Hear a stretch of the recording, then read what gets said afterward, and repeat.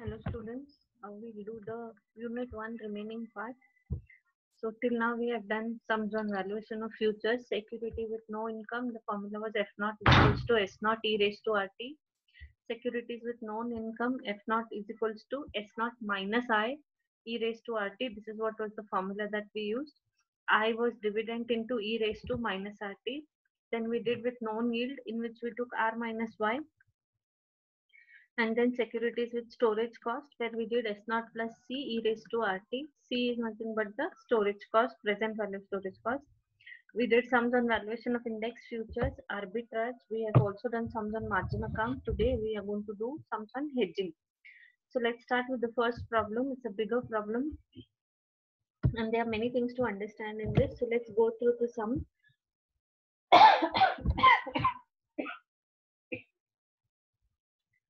On January 1, 2007, an investor has a portfolio consisting of eight securities shown below.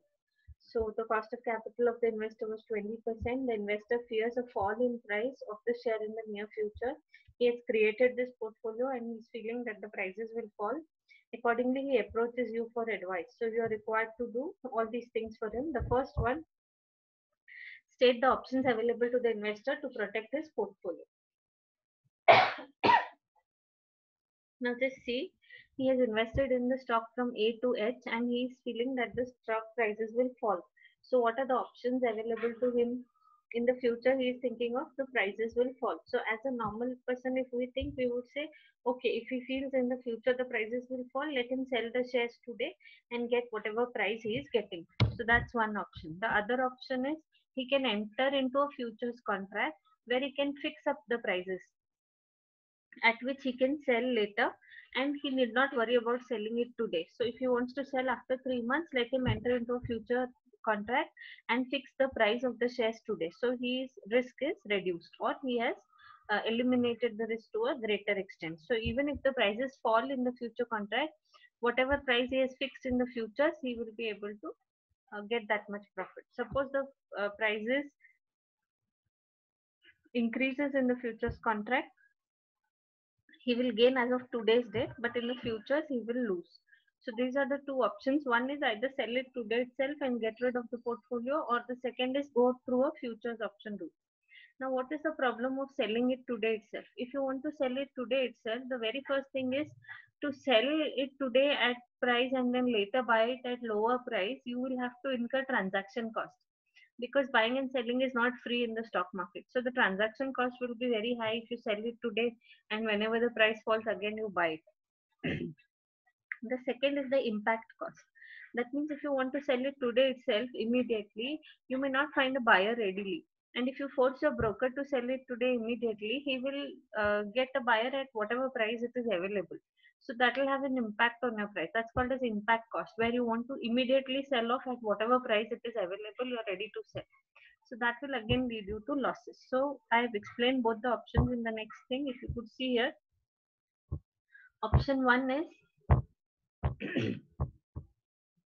there are two options sell the shares now and repurchase them later when price falls. This option is likely to be costly since selling of shares and repurchasing them will require transaction cost as well as impact cost. Second option I told you, he can sell the futures contract and keep the portfolio intact. As of now, don't do anything. In the futures contract, you sell. In this case, the impact cost and transaction cost are likely to be lower because he's not selling it today itself. The transaction cost and impact cost are low. Trading in derivatives market is generally cheaper than trading in cash market. If the share price falls, the investor will lose on the value of the portfolio but gain in the future contract. Whereas if the price goes up, he will lose in the future contract and gain in the current portfolio. He lose in the future contract means whatever price he has fixed, that at least he will get. Additional gains, if any, he could have got that he will have to lose or sacrifice. But at least he lowers his risk in the second option. So it's better to go for second option. Okay. The next question is calculate the beta of the portfolio. Now to calculate the beta of the portfolio, we have to see what all is given in the problem. This is a table in the problem in which we already have the securities from A to H. They've given us the prices, they've given us the number of shares, and they've given us the beta value. So these columns are already there. We need to find the rest of the columns. So what we will do is we'll first find the value. How to find the value of a particular stock? You'll have to multiply the price with the number of shares. So when I do 29.40 into 400, I get the value of share as 11,760. That means I have invested 11,760 in this in this share. Okay, so like that I multiply the price with the number of shares to get the value for each share from A to H.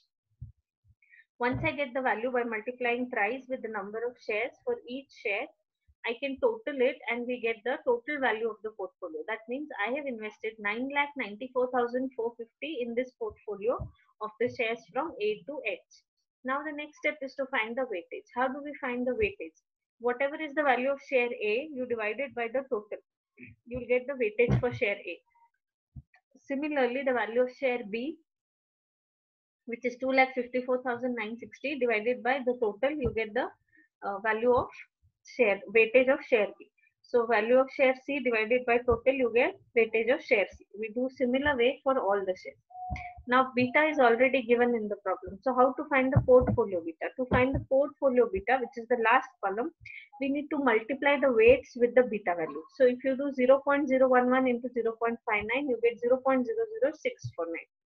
0.256 into 1.32 you get 0.337 so similarly i'm multiplying the weightage with the beta to get the portfolio beta. Once you have multiplied and got the values you find the total of that to get the total beta which is equal to 1.095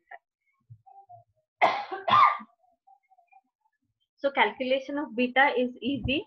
You will be having securities price and number of shares. When you multiply price with number of shares you get the value then when you multiply each share value with the total, you get the weightages. And when you multiply weightages with the beta, you get the portfolio beta. So this is how you calculate the beta. The next question is, calculate the theoretical value of the futures contract according to the investors for contract expiring in February and March. So these are the formulas it doesn't have any dividend, it doesn't have any uh, yield. So we are using a simple formula. We are going to find the future value. Theoretical value is nothing but the future value according to your calculation. So future value is equals to S naught E raised to RT. Now to use this formula, I need certain values. So F naught is equals to S naught E raised to RT. I need the value of S naught.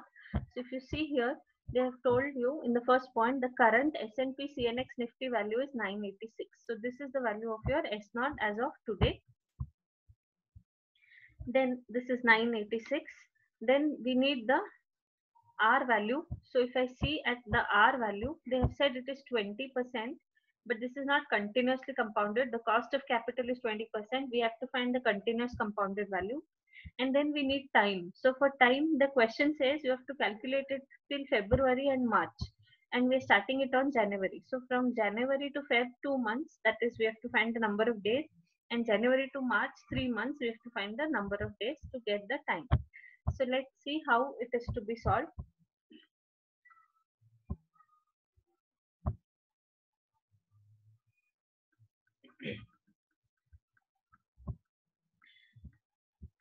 Okay, so just see here all of you.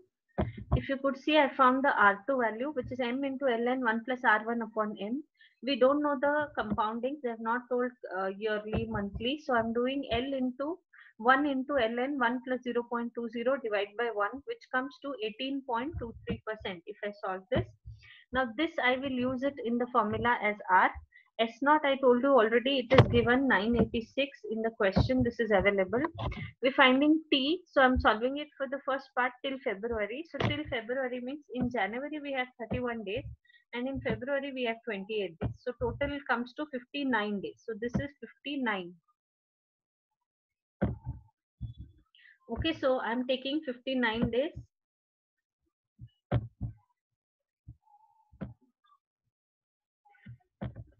So we are taking it here. F naught is equals to S naught is 986 into E raised to 0.1823, which is this, the percentage that I found into 59 divided by 365. When I solve this by finding the exponential value on the scientific calculator, I get the value as 1015.41. So this is the value of the portfolio. I'll just show you the zoom one.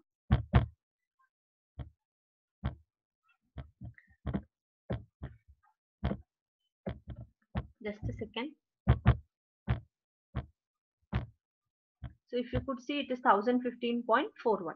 So this is the first part of question number one, finding the value till February. Now they have asked you to do it till March. So to do it till March, we are going to take same values, the nine, and now this, okay, whatever value we have got is for one or index value. And the question says we have 200 index points. So whatever answer I got into 200, if I do, I get the total value as 2 lakh 3083 you can also do 986 into 200 here only. In the class i think i had done it like that. So you can multiply 986 into 200 you get the total value. And that itself you can find the future value as final answer. Or if you do it like this then you multiply it with 200 to get the final answer. Now the next is till march. So till march means we have 31 days of jan 28 days of Mar feb and 31 days of march totally 90 days. So S naught is equals to e raised to RT 986 into e raised to whatever R value we have got 18.23% into 90 days. When you solve it, you get 1031.28. Again, multiply it with 200 because that's the uh, multiplier of the index. You get 2 lakh 6256. So you can see here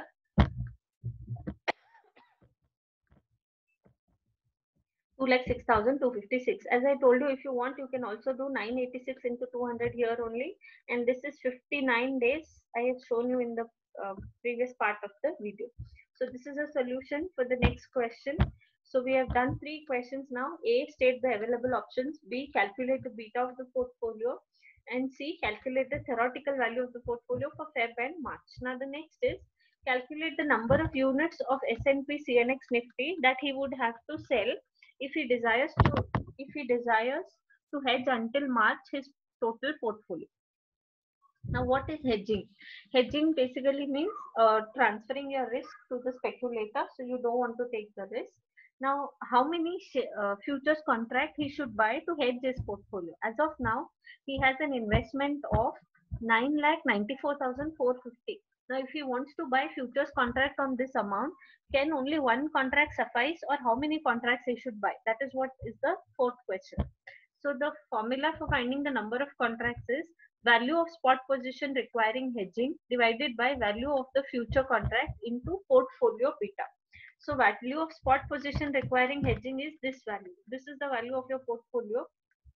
While calculating beta, you have totaled the value of your portfolio so you need to hedge your entire portfolio because they have said how uh, how many contracts to hedge the total portfolio. That means the full portfolio you're hedging. Nine lakh ninety four thousand four fifty is the value for the current or the port, uh, value requiring hedging divided by value of futures contract. Now they want you to hedge until March. So here, if you see, uh, hedge until March his total portfolio. So for March, what is the futures value is given in the third point here. What we have calculated, we should not be taking that. That is the theoretical value. This what they have given is the actual market value. So for March, futures are being quoted at 1019. So I'll take that value. So if you see here, 1019, the March futures are being quoted at 1019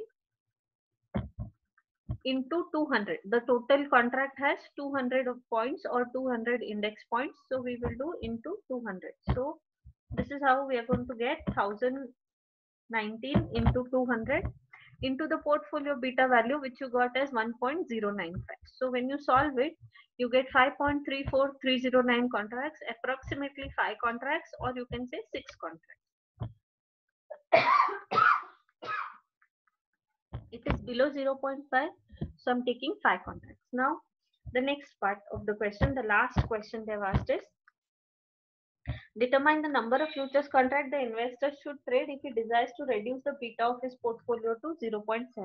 Now, this doesn't mean that we have to take beta as 0.7, but we have to minus that much value from the actual beta calculated. So, if you see here, value of the portfolio requiring hedging, that is your value 9,94,450 divided by value of futures contract till March, so 1019 into 200 into the portfolio beta that you calculated 1.0959 minus the portfolio beta which they want you to reduce it to which is 0.7 so you should not take 0.7 but you should minus 0.7 from your calculated value so now if you solve you get 1.93 contracts or approximately 2 contracts so if this is the beta Beta is nothing but risk. So if there is low risk, you can buy less number of contracts.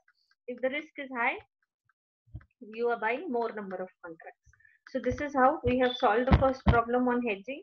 What we are basically doing of hedging here is you're finding the number of contracts you need to buy in the future in the futures to hedge your entire portfolio. So this full portfolio, that is the full investment of 9 lakh 94,450. If I want to secure it, how many contracts I should buy? So to find that, we call it as hedging. I hope it is clear. This was the first problem on hedging. We'll do one more sum so that you get more clarity. On 1st April 2007, an investor has a portfolio of five stocks as given below. So he has these five stocks. Calculate portfolio beta. Calculate theoretical value of BSE Sensex future if its current value is 2550 and it is expected to declare a dividend of 5% per share and will mature on 31st May. Risk-free rate is 6.5%. If May futures are quoted at 2,550 with a trade lot of 100 units, calculate the number of contracts he needs to sell for hedging his portfolio. So let's calculate all the three things. First, we'll calculate the portfolio beta. So we have company, price, number of shares. When we multiply price with number of shares, we get the value. So see here, company, price, number of shares. You multiply price with the number of shares, you get the value. So for each share, Grasim, HDFC, HLL, Bajaj and Infosys, you multiply the price with the number of shares, you get the value of each share. When you total it, you get the value of the total portfolio, 9,47,533. The next step is to find the weightage, which is nothing but value of Grasim divided by the total. You get the weightage of Grasim. Value of HDFC, 1,38,400 divided by total, 9,47,533. You get the weightage. Similarly, do it for all the shares. Now the beta values are given in the question. That's the risk is given. So write it down as it is. If you want to find the portfolio beta, you multiply the weightage with the beta. So if I do 0.285 into 0.80, I get the portfolio beta 0.228. I do it for all the shares and I get the total beta which is 1.0389. That's the first question. Now see the second question. Uh, they have asked you to find the theoretical value of BSE Sensex future if its current value is 2250. So to find the theoretical value, we use the F naught formula. Now the current value that is S naught is 2250. Then they have said it is expected to declare a dividend of 5%.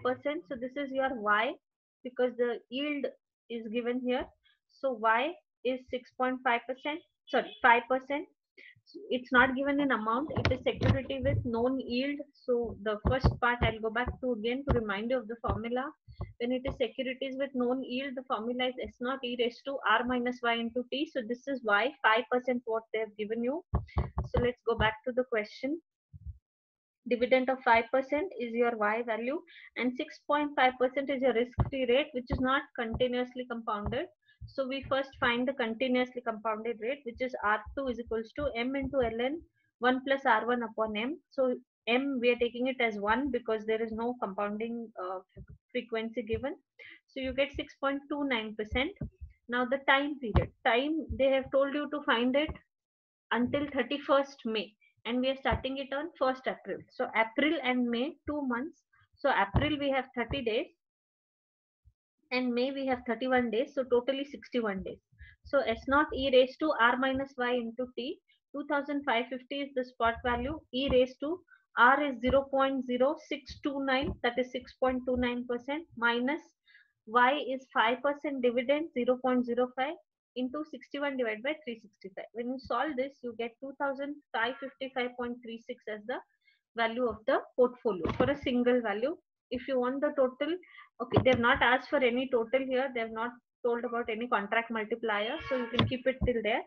Otherwise if they would have given 100 units is the lot size so i would have multiplied with 100 to get the total value. The next is they have asked you to find the number of contracts. So value of spot position requiring hedging divided by value of futures contract into portfolio beta So value of spot position requiring hedging, you will get it in your beta table, the total that you write, 9,47,533. Then portfolio beta also you'll get it in your table, 1, 0, 1.0389. So you can see here 1.0389. Now what is the value of futures contract? So they want, you get that in the question. If May futures are quoted at, so this is the value of May futures, not your calculated value, but you have to take the given value 2550 is the value into 100 is the trade lot. So if I take that 2550 is the value of May futures into 100 trade lot, you get 2 lakh 55,000. So when you multiply and solve it, you get 3.86 contracts or approximately 4 contracts. So this is how you have to do problems on hedging. First, you need to find the portfolio beta and using that you can find the number of contracts this is just to tell you what is the theoretical value or your calculated value. So if you could see, you have calculated a value of 2555.36, whereas the market value is 2550. So the market value is lower than your calculated value. You can also do arbitrage with this, but that is not asked. So we will not go into all the details. Only you need to remember portfolio beta. If they ask you to calculate the theoretical value, you have to properly take the time you have to see which formula to apply dividend is given or not given and you have to find the R2 if it is not given and put it in the formula to solve it. So this was about hedging. Any uh, doubts will interact in the coming classes. Thank you.